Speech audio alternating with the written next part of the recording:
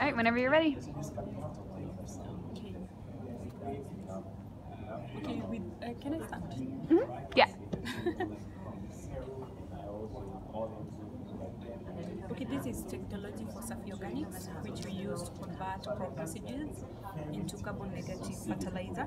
So we start by putting in plant waste till it's filled, then you can lid so that it can uh, bring out some fire, and then you take the crop residues, uh, uh, let's say maybe uh, rice husk, bagasse, any kind of waste.